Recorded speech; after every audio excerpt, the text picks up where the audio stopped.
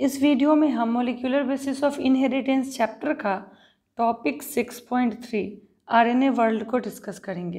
तो स्टार्ट करते हैं। From foregoing discussion and immediate question becomes evident which is the first genetic material पहले जो डिस्कशन हो रहे थे, उससे एक क्वेश्चन कंटिन्यू आ रहा था कि फ़र्स्ट जेनेटिक मटेरियल क्या है।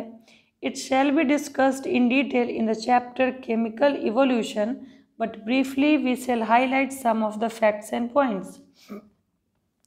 इसको डिटेल नेक्स्ट चैप्टर में केमिकल इवोल्यूशन चैप्टर में इसको डिटेल में पढ़ना है।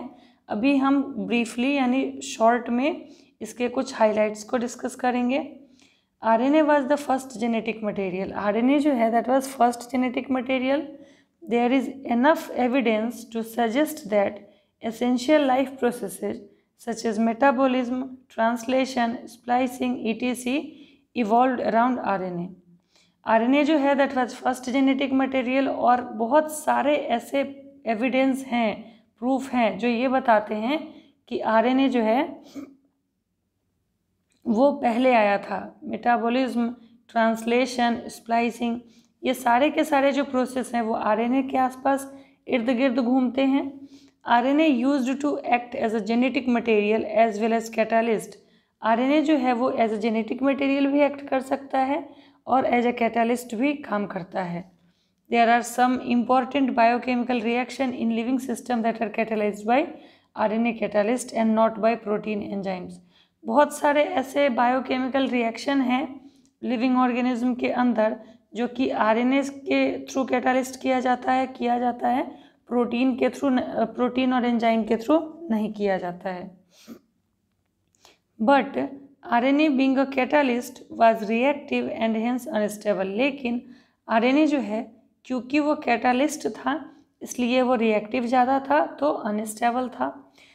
Therefore D N A has evolve from R N A with chemical modifications इसलिए डी एन ए जो है, वो इवॉल्व हुआ आर एन ए से कि कुछ मॉडिफिकेशन के साथ, कुछ चेंजिंग के साथ that make it more stable जो कि डीएनए को ज़्यादा स्टेबल बनाता है, क्योंकि आरएनए के अंदर कुछ ऐसा मॉडिफिकेशन हुआ, कुछ चेंज हुआ और तब जाके डीएनए उससे बना और डीएनए ज़्यादा स्टेबल है।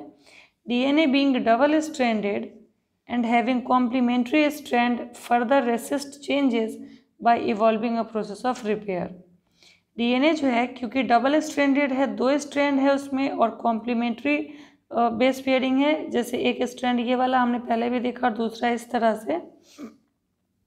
तो डबल स्ट्रैंडेड और कॉम्प्लीमेंट्री होने की वजह से जो है, चेंज को अपोज करता है, रोकता है और जो है, इसका इवॉल्विंग प्रोसेस ऑफ़ रिपेयर और इसके अंदर रिपेयर भी हो जाता है। तो ये हमने आरएनए वर्ल्ड अभी देखा।